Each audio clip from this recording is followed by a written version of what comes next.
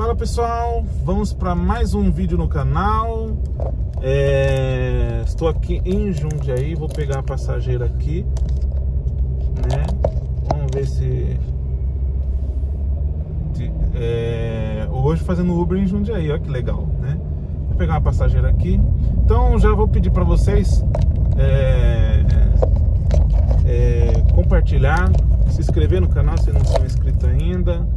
É, comentem se você gosta do, do, desse tipo de conteúdo e compartilhe aí esse vídeo. Vamos que vamos. Estamos aqui em Jundiaí. Vou pegar uma passageira aqui. Acabei de deixar um outro passageiro. Vamos pegar mais uma passageira aqui. E aí vamos fazendo vídeo, né, pessoal? Vamos colocando aí para vocês acompanhando aqui a cidade de Jundiaí, para quem não conhece. Cidade de Jundiaí. Essa passageira tá ali no... Ela tá no... no acho que ela tá no...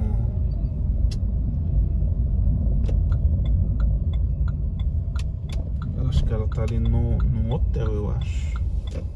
Olha o trânsito, meu Deus do céu. Muito trânsito. Essas horas aqui é complicado, né? Qualquer cidade essas horas é complicado. Jundiaí é uma cidade bem bem movimentada, cidade grande, né? Assim, do interior, né? Tem muita é, tem muitos estados aí que não tem cidade do tamanho de Jundiaí. Jundiaí acho que tem já 400 mil habitantes, é uma cidade muito grande. Então o trânsito aqui também é complicado no horário de pico. Acho que essa passageira tá num, é um hotel, acho que isso aqui é um hotel. E aí, pessoal, é, é, tô, tô fazendo bastante vídeos aí, rodando na região. Fiz um vídeo aí, coloquei aí um... É, ontem coloquei um vídeo vindo de Viracopos para Jundiaí no Uber, né? Conversando com o passageiro. É, né, a gente conversou muito sobre música, que é minha área, né? Que eu sou, sou minha profissão, né? É música. E foi muito bacana. E hoje estou aqui em Jundiaí, rodando de, de, de, Uber aqui, né? Vocês conheceram um pouquinho de Jundiaí aí. Quem não conhece, cidade muito bacana, muito legal, bem desenvolvida, né? Vamos lá, é por aqui. Deixa lá. Nossa, vai ser difícil para entrar aqui, hein? Vai, minha filha. Se você não for, eu não entro. Oh, meu Deus. Tá com medo de entrar. Deixa eu ver se essa passageira que tá vindo aqui. Acho que não. Pessoal, pessoal, pessoal não. Ah, o que que tá acontecendo aqui? Acho que o cara bateu no.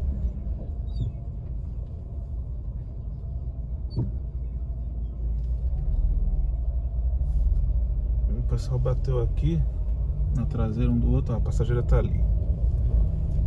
Vamos pegar a passageira ali. E vamos que vamos. Aí vocês já vão acompanhando aí, pessoal, rodando aqui em Jundiaí. Vamos lá.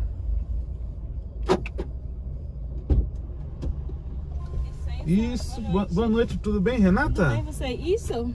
Tudo jóia. Nós vamos para Malha de Almeida Chacon, é isso, né? Isso, ali no Residencial Jundiaí. Residencial Jundiaí, número 51. Exato. Ah, Residencial Jundiaí. Mesmo.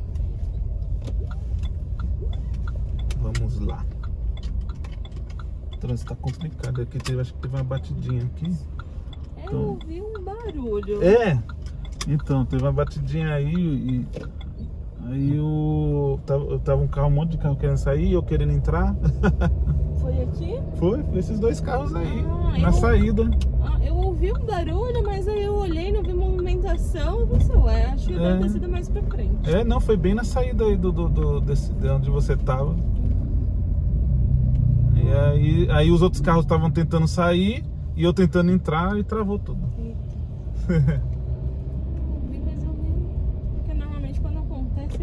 bastante movimentação. É, verdade. O povo para, tudo é, o povo foi mais tranquilo, né? Mais tranquilo. Não foi tão curioso. É. esses dias aqui, né? Foi esses dias que eu tava aqui, foi mês passado, eu acho. nessa rotatória aqui que a gente tá, só que ali do outro lado, é, uma moça, alguém foi fazer isso e o outro querendo entrar aqui. Os dois foram fazer o contrário. Uhum. Mas deu uma pancada. Aí a, a que bateu na, na lateral da outra, a- jogou a outra no outro carro do senhorzinho. Nossa, foi três carros, mas foi, foi, foi bem feio assim, massa. Acho que ninguém se machucou, porque depois eu tava parado do outro lado ali, né? Eu tava estacionado ali do outro lado. Aí eu fiquei olhando assim, ninguém, eu vi que ninguém se machucou, porque todo mundo desceu dos Uhum. carros e tal. Mas assim, estragou bem os carros. Não, mas nessa rotatória aqui, vira e mexe tem acidente, né? Eu já vi alguns carros aqui dentro dessa negocinho de água que tem aqui. Que aqui na, aqui- Ah, na aqui- fonte? Na fonte. Ah, Vem nossa! com tudo aqui vai na fonte. Nossa! Geralmente cara bêbado, né? Sim. E até aqui também, porque faz esse balão e aí vai fazendo meia curvinha pra você ir reto, né? É, sim, Aí sim. as pessoas acham que vão entrar ali Isso. e aí meio que bate. É, verdade. Esses dias mesmo eu tava com uma moça, aí ela fazendo um retorno, balãozinho ali pra ir reto, Uhum. o motoqueiro achando que ela ia entrar, quase que dá no- na lateral aqui. Nossa! Aí ele deu, ai meu Deus, vai bater. Aí ela jogou Nossa. rapidinho, aí não bateu nele. Nossa!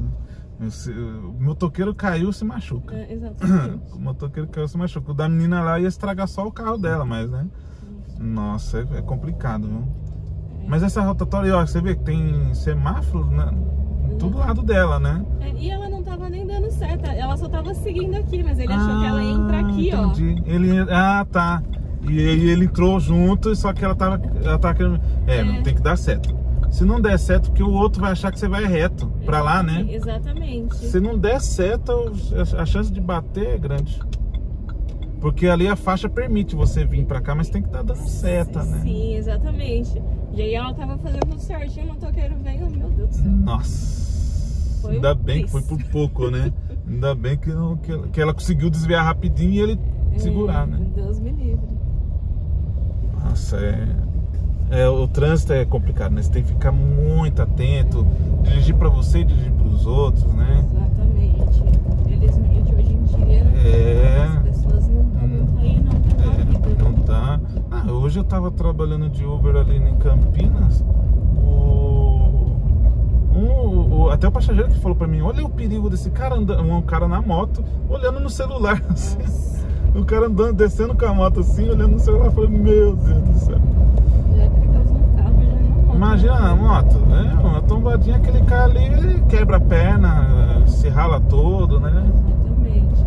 E hoje em dia também os carros, na hora que bate, já não pode bater muito forte que já. É, que já se estraçalha todo, né? Exatamente, né? Mas antigamente não. né? Lata dos carros antigos. Esses dias aí que eu vi, acho que foi na internet, né? Um, um, um- um carro desses modernos, novo aí da Honda, bateu no. num Opala, ou, ou não sei se foi um Opala ou se foi um Dodge, aqueles antigos, sabe? Uhum. Aqueles, aqueles antigos. Bateu assim, o carro se destruiu todinho da, da, da Honda e o carro, o carro do, do- Acho que era o Opala, não fez nada Intacto. intacto. E não fez nada. E, uh, Foi, um vídeo que assim, foi na traseira, bateu na traseira do. do- Antigamente o povo gastava mais com ferro. Era, mas com ferro. Hoje É. em dia nem sei que, que eles usam, porque não é ferro É. não. Eu vi falar, eu vi um cara falando, um, ele, ele é engenheiro de, de automóvel, de automobilístico, né? Eu vi um cara falando que tem uma explicação para os carros desmanchar na batida, porque dizem que ele fala que ele falou assim, você já viu Fórmula 1? Os carros batem, destrói tudo, só que o piloto sai Fica, vivo. Uhum. Ele falou assim que, que isso é de propósito o carro de se destruir, porque na hora que tá batendo, diz que ele vai absorvendo a energia do impacto. Então ele- o objetivo da lata ela é se destruir na batida. Pra, por exemplo, imagina batendo aqui em câmera lenta, né? Uhum. A, a frente do carro batendo. Então ela vai, ela vai se destruindo e amortecendo, porque se ela não amortecer, o impacto aqui é grande, a pessoa que está dentro do carro ela vai se esmagar, se ela não tiver sem o cinto e tudo, ela vai se esmagar lá dentro do carro, entendeu? Entendi. Então eu vi um cara falando, eu falei, ah, faz sentido isso daí mesmo. Isso. Faz sentido. Aí, você, aí, ele falou assim, ah, pode ver. Muitas das vezes você vê um carro todo destruído, você fala, ih, a pessoa morreu. Aí, aí vai ver a notícia, não, a pessoa saiu é. viva, machucou, mas saiu viva. Eu falei, é, faz sentido, faz sentido. É, hoje em cada acidente feio que a gente vê. Né? É, nossa. E eu que ando assim, né? Quando eu tô trabalhando no Uber, ando o dia todo na, na rua, vejo cada uma. Imagina, deve passar por cada situação também, né? De Verdade. porque Sim, olha. verdade. Nossa, é, é, sim, é, é- é- é ajoelhar e agradecer a Deus no final do dia pelos livramentos que tem. Porque Exatamente. E eu falo, meu, vai de boa, né? Se tá trânsito, vai fazer o quê? Não tem que fazer, tem ficar que fazer. Exato, exato.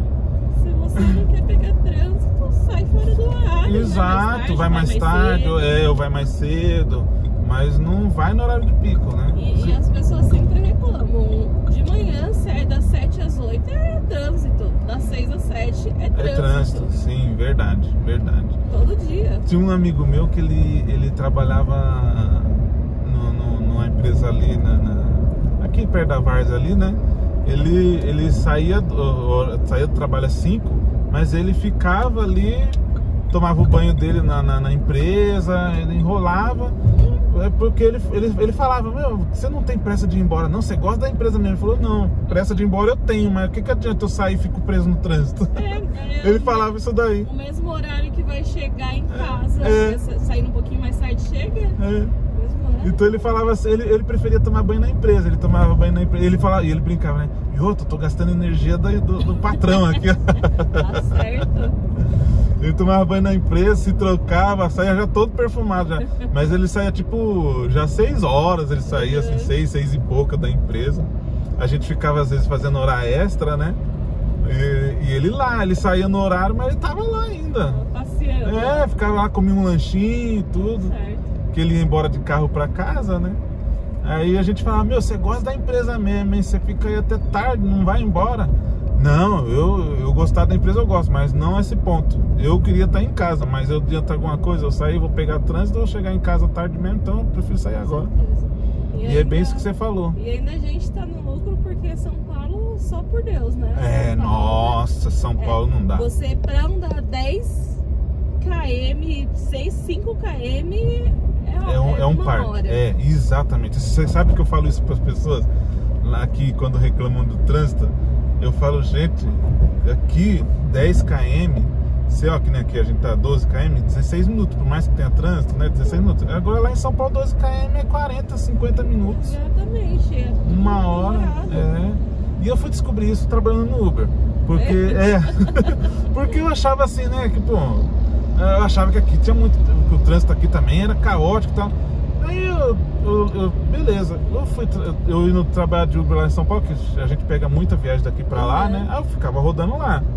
Aí, tipo assim, 6km. Só que lá o Uber paga bem mais pro, motor, pro, pro- pro Uber lá. né? O Uber Uhum. paga bem mais pro motorista. Aí eu falava, nossa, 6km, tá pagando tanto assim. Nossa, eu vou. Pegava o passageiro, mas me arrependia, porque eu levava uma hora pra fazer aquilo lá. Eu falava, meu, como é que pode 6km levar uma hora, 50 minutos, 40 minutos? É cansativo, né? É, Fica cansativo, Uma hora pra é. ir, uma hora pra voltar. É, não, São Paulo não dá, não. São Paulo é não dá. E, e assim, não tem mais horário de pico lá. Qualquer horário do dia. Eu, vocês- Exatamente. eu fui lá duas horas da tarde. Era. Não, era duas horas da tarde, era umas três horas. Duas horas, duas e meia. Tava trânsito por um monte de lado, assim, sabe? Mas muito trânsito. Eu, e domingo é domingo. É. Nossa, às vezes vou na casa do meu irmão, ele, ah, vamos passear.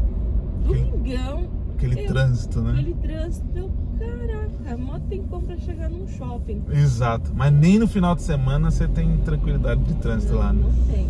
Aí eu falei, meu, não sei como você aguenta. É. Aí ele fala, bora sair, 10 minutinhos. 10 minutinhos, quê? 10 minutinhos. 10 10 minutinhos, minutinhos, nada. nada. 10 minutinhos é aqui no interior, né? Aqui no É. interior, 10 minutinhos. Tá doido. Fora que não é só o trânsito de carro, vai pegar um, um metrô, um trem, um ônibus. É. Vuca lá também, gente. Verdade. Nossa, nem me fale. Aquela linha vermelha, linha amarela, linha azul, lotada, né?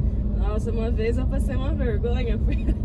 Eu não sabia, né, que Ah. tinha umas regras lá. Não sei se você deve, sa- Sim, deve sim, saber. sei. Eu, eu Do, da escada rolante ficar de um lado. É, é, nossa, e eu fui pra fazer compras Aham. lá. Aí eu tava na estação da luz, achando mó legal, curtindo, né? Aham. Ainda eu olhei assim, nossa, que vazio, né? Que que Ah, tá ah, sim, sim, que a Eu falei assim, nossa, que legal. Sim. Meu, do nada, começou uma gritaria, esquerda livre, esquerda livre. Um monte de gente brigando comigo, eu sem entender se era comigo. Sai da frente, sai da frente. Aí eu, Nossa. meu Deus do céu. Aí eu saí assim, um monte de gente saindo correndo. Eu falei nossa, o que tá acontecendo? Aí eu encontrei meu irmão, meu irmão. Aí eu falei, Dando risada, né? Ele é, tem que ser do interior Do mesmo. interior mesmo, né? E o duro que o pessoal lá já sabe, né, meu? Já. Isso aí deve ser do interior. Já. Eu falei eu vou saber, pra mim, escada, escada. É, Tô na exatamente. escada rolante, eu vou seguir Você ela. fica ali, fluxo. né? É. Meu, a turma. Não, escada rolante você tem. Minha esposa, que, que um dia a gente foi pra lá, né? E ela lá na, aí ela lá na, na- de boa na escada lá à vontade. Eu puxei ela pro lado aqui. Não, a gente tem que ficar aqui, ó. Tá vendo aqui, ó? É, nossa, eu mó turistando lá e tal. Aham. Nossa, o povo tudo xingando. é. Nossa, gente, calma. É, meu, e o povo não tem paciência, né? Tem paciência, não tem Aí na paciência. hora de entrar lá nos metrô, um aperto. É. Eu falei assim, gente, pode ir. Eu ficava esperando todo mundo entrar. Vai lá, galera. Ixi, teve uma vez que eu tava tão cansado do- dessa do metrô também, aí eu esperei vários metrô passando. Mas quem dizia que o metrô levava aquele mundaréu de gente, aí esvaziava a plataforma, aí na hora que ia enchendo, enchendo, enchendo, enchendo, o outro metrô chegava, tava lotado de novo. Ah, meu, não tem como. Vou ter Aí que entrar num trem. esperava, Porque, tipo, a muvuca ia entrando tudo junto, né? Porque todo mundo se batendo, né? É, entrar. é. Aí eu deixava eles se baterem, entrarem, aí eu ia por último lá. Ficava Sim. em pé, mas tudo Mas bem. eu ia por último, né? Você É. ficava ali na- do lado da porta ali, né? Exatamente. Do lado da porta, sim. Porque olha, é difícil. E o meu irmão, ele todo dia é metrô pra ir trabalhar, pra voltar. É, né? Todo dia. Eu assim, Nossa, sei meu, é, so- so- é sofrido, né? Porque é muito lotado. E ele pega sempre horário de pico, né? Sempre. Nossa. Ele mora muito tempo lá em São Paulo ou, você também era de lá? Não, ele sempre morou aqui. A gente, eu, eu nasci em Jundiaí e Uhum. morei a minha vida toda em Itupeva. Ah, tá. Aí depois tá. que eu casei, mudei ele você residencial pra Jundiaí. residencial- Mas é mais Itupeva do que Jundiaí. É, porque a turma sai, vai comprar lá no, no, no Cobaba ali do lado, né? É, é bem mais perto É. de Itupeva. Aham. E aí ele morava aqui em Itupeva, mas não gostava. Entendi. Aí conheceu a esposa dele, foi pra São Paulo, acho que faz uns oito anos que ele tá morando lá. E ele Ah, já- adora. Ele gosta de lá, né? E ele gosta. Eu falo, Ricardo, volta pra cá. Misericórdia! eu não, aqui, ó, qualquer, hora, qualquer lugar que eu vou tem, tá aberto. Verdade, isso é verdade. Isso é verdade. Se Isso é eu verdade. gosto dessa bagunça. Não, tem gente que gosta, né? Ele, e ele gosta, Tem- viu? é, e ele gosta, né? Então o interior pra ele é, um- é- é muito tédio, né? É. é muito. E, ele vem pra cá, ele não aguenta. E eu vou pra lá, não aguento um, um final de semana. E eu já sou igual a você, eu já, eu já não aguento São Paulo, não. Eu, eu gosto de São Paulo, sabe? Gosto de ir lá, comprar, passear, mas eu não aguento não ficar muito tempo lá, não. Eu já gosto, já é de ficar por sossego. Eu morei aqui em Jundiaí também e eu, eu fui pra Vinhedo, Vinhedo é muito mais sossegado Ah, ainda. Vinhedo é muito bom, gosto muito. Nossa, Vinhedo é maravilhoso. É uma gracinha a cidade. Isso, é, uma- é maravilhosa a cidade. E aquele é calmo, tranquilo, sem contar que também não tem violência, assim, né? É- não tem, sabe, assalto, essas coisas, não, não tem lá. Não tem lá. Quando tem assalto é no comércio, mas os bandidos que saem lá de Campinas vêm lá roubar uh, drogarias, as Uhum. farmácias e tal. Mas isso ainda mesmo assim não é com frequência, é muito Uhum. raro acontecer. Bem, bem menos do que São Paulo, né? Bem, mas muito, bem menos, é muito menos. Ah, eu gosto muito daqui desse sossego. É, aqui no interior, aqui no interior é, não, tem, não, tem, não tem preço que paga essa paz que a gente tem, Ah, né? não. E a gente chega, é igual, é tão bom a gente entrar na nossa casa e não sentir, não, ouvir barulho nenhum. Verdade, verdade. Porque às vezes acontece, o vizinho faz uma festa lá dia 5, dia 20, o povo fica feliz, faz um Sim, churrasco. sim, faz um churrasquinho ali, Mas coloca umas músicas altas, isso, mas nossa, de noite na minha rua é super tranquilo. Dificilmente tem movimentação. Não, lá em São Paulo, ó, tem um, uma passageira que eu deixei lá na, na, na região ali do, do, do, do aeroporto de Congonhas. É aquele avião passando, aquele barulhão do motor. Eu falei pra ela, viu, como é que você consegue morar aqui Ela falou, olha, você acredita que eu já acostumei? Nem, nem, nem ouço o barulho do, do- do- Nem ouço, mas ela falou, nem ouço mais o barulho do, do motor do avião. Ela, você consegue. é Porque agora o aeroporto de Congonhas fecha à noite, né? Não pode mais. Ah, é? É, não pode mais. Às 10, é, às 10 fecha. Não pode mais descer avião lá em Congonhas depois das 10. Por causa do barulho, né? Uhum. Mas ela falou, aí eu falei pra ela, né? Ainda bem que Congonhas fecha depois da noite e tal, né? Ela falou, ela falou assim, só que olha, eu moro aqui a vida toda. Ela falou que mora lá há uns 70 anos. Ela é bem idosa, né? Acho que ela, ela mora a vida toda, nasceu lá. Uhum. Aí ela falou que mesmo quando funcionava à noite lá o aeroporto, ela falou que, que, que não é, pra ela já, já era. Ela não conseguia dormir normal. Ela falou que quando o aeroporto fechou à noite que ela achou estranho. Mas ela falou que acostumou, acho que a pessoa acostuma, né? E é igual o meu irmão, falou lá, eu não consigo dormir, porque a gente passando som alto Som toda alto. hora. Nossa. E na rua de cima dele tem.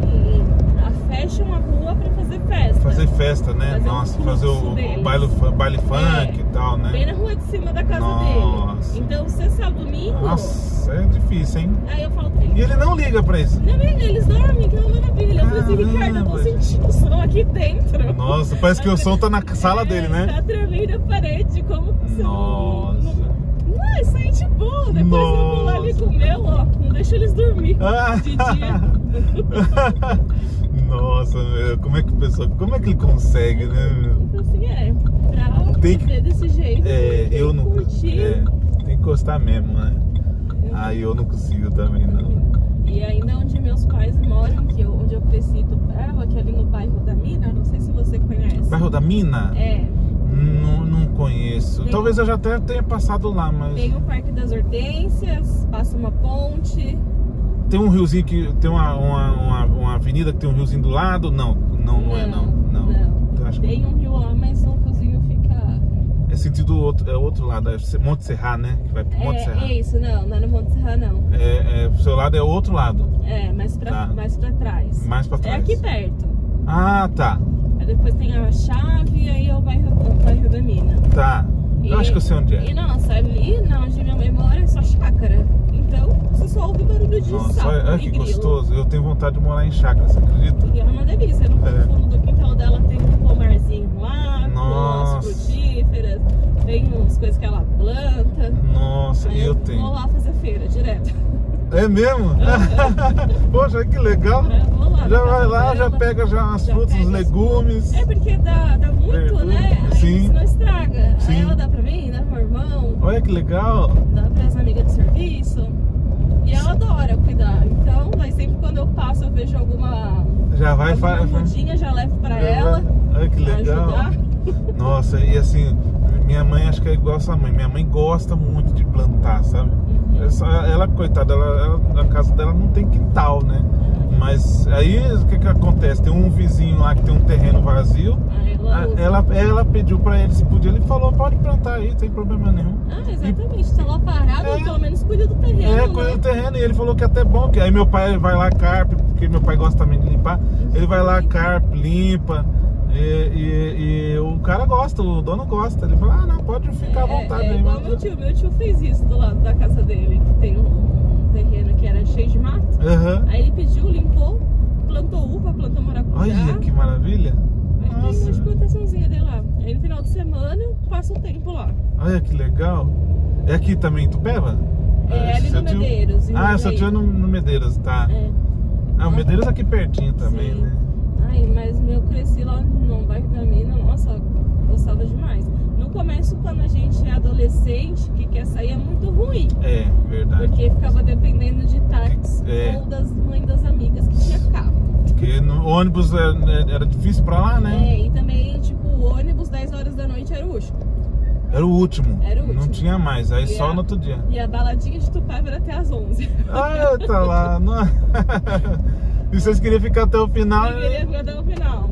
Aí Puxa era vida. 11, 11 e meia no máximo. Nossa. Aí eu tinha que vir mais cedo, ou tinha que vir com a, mi- com a mãe da amiga, de Sim. táxi. Era. Sempre chama, a, a família Sim.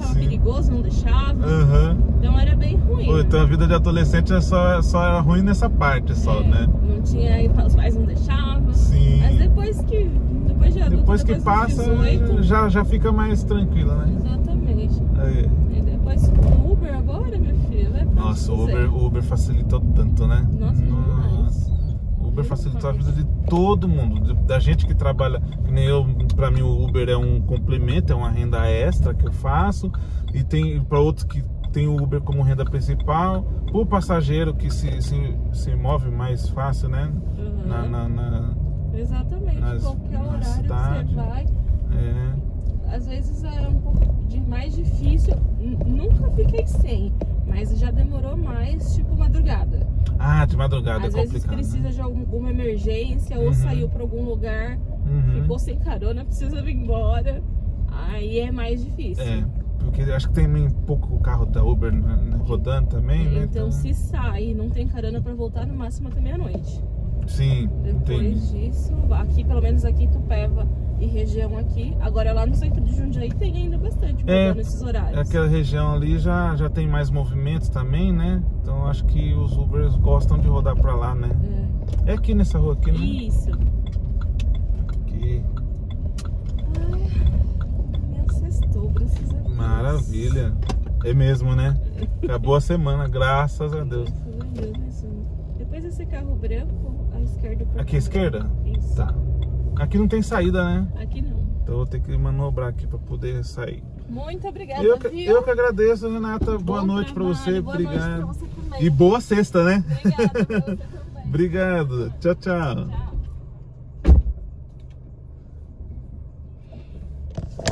É pessoal, mais um vídeo aí que a gente concluiu fazendo. é, eu vou ter que manobrar aqui. Enquanto eu manobro, eu vou falando com vocês. Mais um vídeo que a gente concluiu aí, né? É, transportando um passageiro aqui no Uber aqui em Jundiaí. Papo legal, né? É gostoso quando o passageiro gosta de conversar. Que aí é, a viagem vai mais rápido, né? A gente não vê a viagem é, acontecendo é, passa mais rápido, né? É, mas às vezes o passageiro ele não, não, não quer conversar, então a gente respeita, deixa, deixa o passageiro quietinho ali no canto dele, né? E, e a gente segue dirigindo. Bom pessoal, vou deixar, eu vou pedir para vocês, se vocês gostaram aí do conteúdo, da viagem, se vocês gostaram aí, deixa um joinha, um like, se inscreve no canal se ainda não é inscrito e compartilhe o vídeo, comente aí, dê, suge- dê sugestões, né? E vamos que vamos. A gente deixou a passageira muito simpática, a passageira, né? E a gente encerra o vídeo aqui. Vou encerrar aqui, pessoal. E fiquem atentos aí, ative o sininho aí, se inscreve no canal, ativa o sininho para quando a gente colocar mais outros vídeos aqui, vocês é, serem notificados aí, tá bom? Um abraço a todos vocês e até a próxima.